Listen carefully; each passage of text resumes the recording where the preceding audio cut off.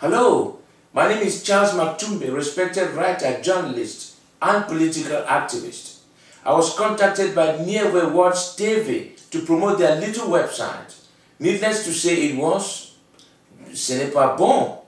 Who wants to read about Gooded Tiden, slanted Tiden? Just don't read it. Except for Pim's work, of course. Keep on trucking. Thank you well, and tot ziens.